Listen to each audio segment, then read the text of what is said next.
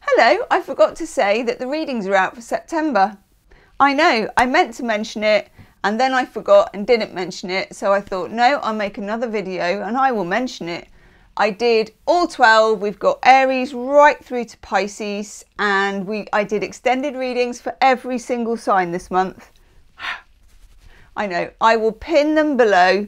Um, do check out your star sign, check out your moon, your rising sign, cross watch for whoever it is that you're cross watching for, and then go on to the comments section and tell us who it is you're cross watching for and why.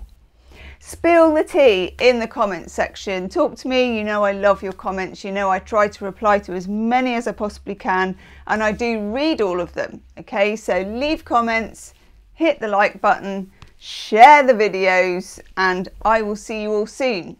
Let me know what you think of them, okay? Namaste.